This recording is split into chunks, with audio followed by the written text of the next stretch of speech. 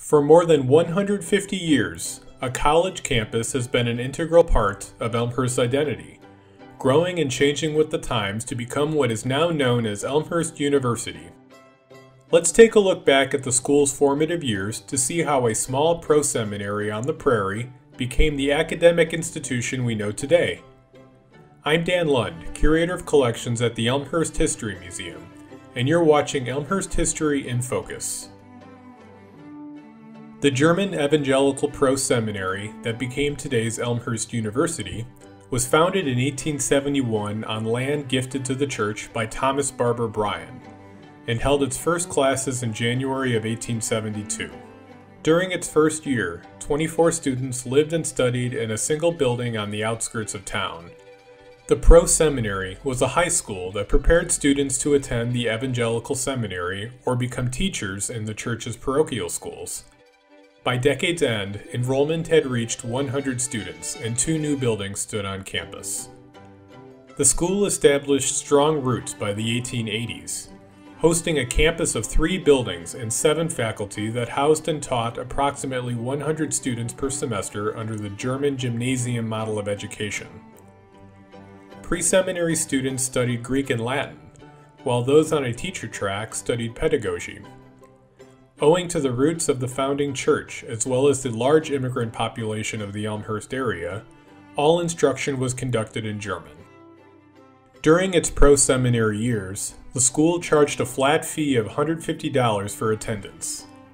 From 1871 through 1913, this cost was never raised, and it covered tuition, room, board, and laundry.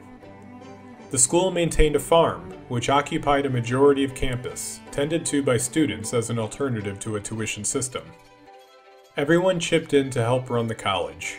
Many students chopped wood and drew water for chores, while older students helped the inspector govern the pro seminary. The assignment of baker was particularly coveted, as it often meant receiving extra portions of food. The school modernized in several ways as it entered the 20th century. Some changes were led by students, who began forming athletic programs in the early 1900s before the school itself began supporting teams in 1919. Other shifts came about from changes in higher education. When the pro seminary opened, high schools were uncommon. But by the early 20th century, that was no longer the case, and many alums called for dropping the school's classical German curriculum and making it a true college requiring a high school diploma for admission. World War I dealt the final blow to the traditional gymnasium model of education, and the school officially became Elmhurst Academy and Junior College in 1919. In 1923, school leadership voted to become a four year senior college, and the school received junior college accreditation the following year. Elmhurst's sixth president, H. Richard Niebuhr, traveled all over the country raising funds towards the goal of turning the school into an accredited four year senior college. A master plan designed by Chicago architect Benjamin Franklin Olson was unveiled in 1925. President Niebuhr's vision for a greater Elmhurst College campus and the designs drawn up by Olson continued to influence the growth of the campus for decades, right on through to the present day. While the campus and mission expanded, the Synod's monetary allowance to the school did not. Deficits mounted, and declining attendance forced the school to close the academy in 1928. The stock market crash in 1929 was devastating to the college's fundraising prospects. With financial stresses mounting, a movement began to turn Elmhurst College into a co-educational institution. This was made a reality when the first class of female students enrolled in classes in the fall of 1930. In 1934, Elmhurst College received full senior college accreditation. The now fully co-educational accredited institution was well positioned to overcome the challenges ahead. While many alumni were growing concerned that the school was straying too far from its roots, student enrollment grew in the late 1930s reforms were taken to modernize the governing structure of the school, and in 1942, the college received its own charter. It was no longer owned by the Evangelical Synod, though the church still had substantial control over the school through its board of trustees. When the nation entered World War II at the end of 1941, Elmhurst College took several steps to aid in the cause as well as to ensure its own survival.